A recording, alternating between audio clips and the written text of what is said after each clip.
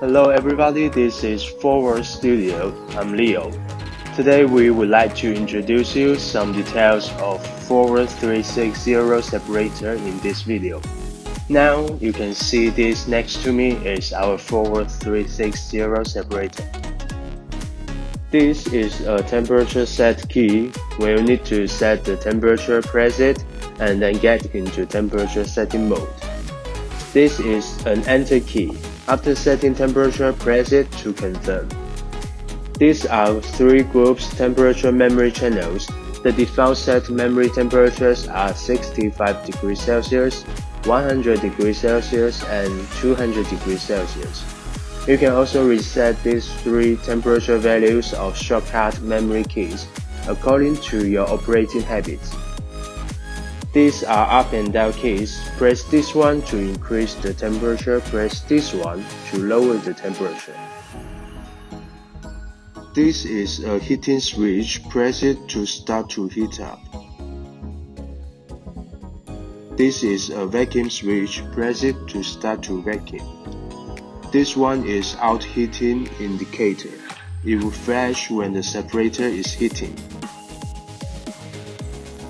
Note that if you want to use the temperature of the default temperature memory channels, one press the channel button is to see the temperature of this channel. Press the channel button again when the number is flashing is to confirm to use the default temperature to heat up. How to change the temperature setting of the default temperature memory channels? For example, if we change the temperature setting of channel 1, first we 1 press the channel 1 button, the displayed number will flash. Next, we can adjust the temperature which we want through the up and down button of the temperature setting. After doing that, press the enter button to confirm and the change is successful. Adjusting the default temperature to a frequent temperature can be more convenient and efficient. If you don't want to use the default temperature memory channels and you want to set the temperature, you can one press the set button, the displayed number will flash, then you can adjust the temperature through the up and down button of the temperature setting. After that, press the enter button to confirm and the setting is done. At the same time, the default temperature memory channel which you used last time will be changed to this value as well.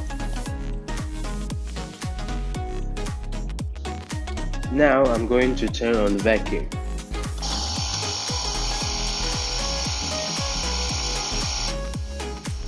If you only want to use the vacuum but don't want to heat, you can just one press the heating switch. The separator has been built in an intelligent temperature control protector. If the machine temperature exceeds 120 degrees Celsius, the vacuum pump will stop working. You can see I set the temperature to 120 degrees Celsius and press the vacuum switch button.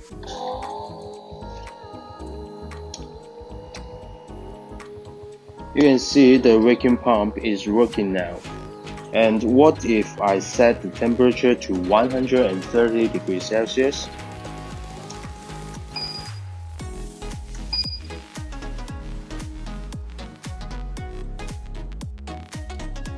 The temperature is 130 degrees Celsius now and press the vacuum switch button.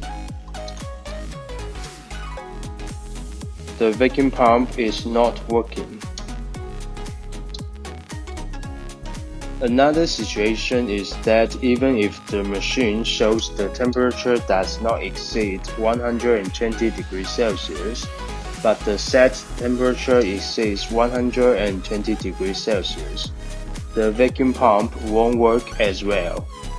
For example, the temperature of the machine is 60 degrees Celsius now, and I'm going to make it 130 degrees Celsius.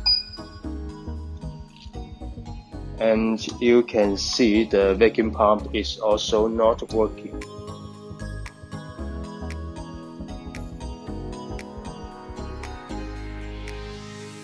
Because the temperature of the air pumped into the vacuum pump is very high, it may damage the machine.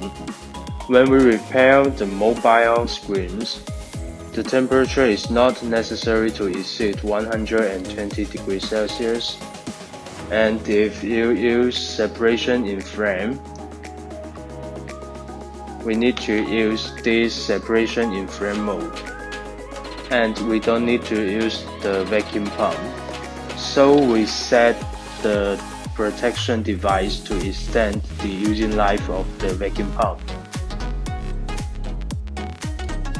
That's what I want to introduce. Thanks for watching and hope this can help you. If you like this, subscribe our channel for more technical support videos.